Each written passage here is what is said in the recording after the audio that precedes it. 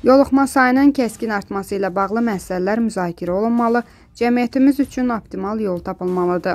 Bunu Axaraz açıqlamasında sərt karantin tədbirlərinin tətbiq edilməsinə ehtiyac olub-olmaması barədə danışan millət vəkili Fazil Mustafa deyib.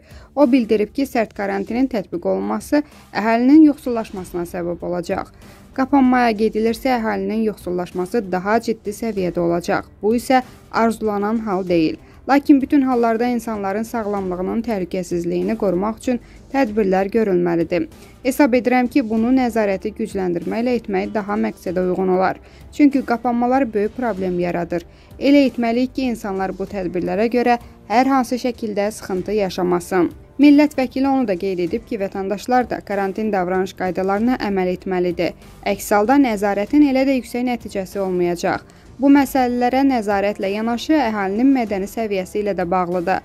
Vətəndaşlar xəstəliyə inanmırsa, polisi görəndə maska taxacaqsa, cərimə olunmamaq üçün qaydalara əməl edəcəksə, polis nəzarətinin burada heç bir nəticəsi olmaz.